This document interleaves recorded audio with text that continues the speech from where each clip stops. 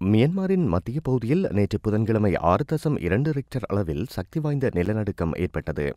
இந்த நிலநடுக்கத்தால் மியன்மாரின் பிரசித்தி பெற்ற சுற்றுலா தலமான பாகன் நகர் கடுமையாக பாதிக்கப்பட்டுள்ளது. சேதமடைந்த கோவில்கள் பதினோராம் மற்றும் பதிமூன்றாம் நூற்றாண்டில் நிர்மாணிக்கப்பட்டவை என மியான்மரின் தகவல் பிரிவு தெரிவித்துள்ளது.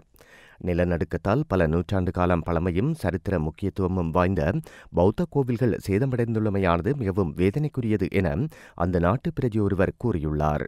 மேலும் இந்த நிலநடுக்கத்தின் அதிர்வானது மியான்மரின் எல்லைகளான பங்களாதேஷ் சீனா இந்தியா மற்றும் தாய்லாந்து ஆகிய நாடுகளிலும் உணரப்பட்டுள்ளமை குறிப்பிடத்தக்கது.